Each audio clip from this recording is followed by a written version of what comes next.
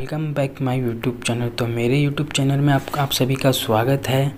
तो आज मैं आपको इस वीडियो में बताऊँगा कि आप इंस्टाग्राम अकाउंट को लॉग आउट कैसे कर सकते हैं। तो फ़र्स्ट ऑफ़ ऑल हमें क्या करना होगा? हमें अपने इंस्टाग्राम अकाउंट को ओपन कर लेना है इस तरीके से। ओपन करने के बाद आप इस तरीके से देख सकते हैं। दैन इसके बाद हमें क्या करना है? इसके बाद हमें क्या करना है? हमें अपने प्रोफ़ाइल में आ जाना है इंस्टाग्राम की। इस तरीके से प्रोफ़ाइल में आने के बाद आपको टॉप में एक थ्री डॉट का ऑप्शन देखने को मिलेगा।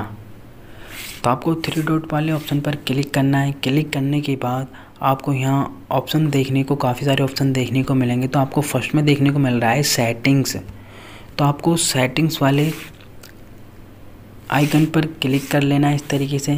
क्लिक करने के बाद आपको यहाँ follow and invite friend notification business privacy security ads account help about theme इस तरीके से देखने को मिला अकाउंट सेंटर तो आपको सबसे लास्ट में आ जाना इस तरीके से.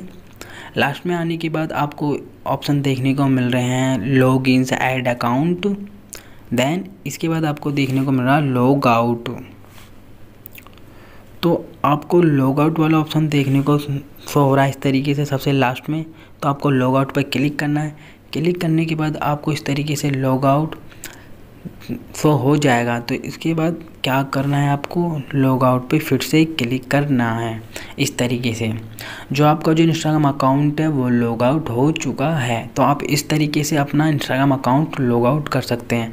अगर आप चाहें तो इसको रिमूव भी कर सकते हैं कि रिमूव किस तरीके से मैं आपको बताऊँ? तो यहाँ ये आपके इस तरीके से सो नहीं होगा। तो रिमूव कैसे करना है आपको? साइड डॉट की बिंदी देखने को मिल रही है।